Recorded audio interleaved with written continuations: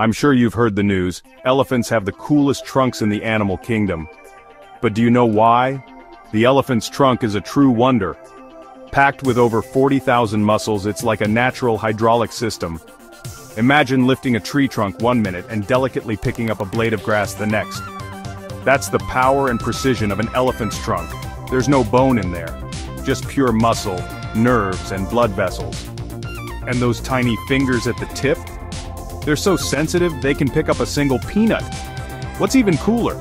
Elephants use their trunks for everything. From drinking water to giving themselves a dust bath, and even showing affection with trunk hugs. It's their multi-tool for survival and socializing. Scientists are so inspired by elephant trunks they're designing robots that mimic their dexterity and strength. Nature's engineering at its finest. So, next time you see an elephant, remember, you're looking at one of nature's most incredible designs, a blend of brute force and delicate finesse. Trunktastic, isn't it?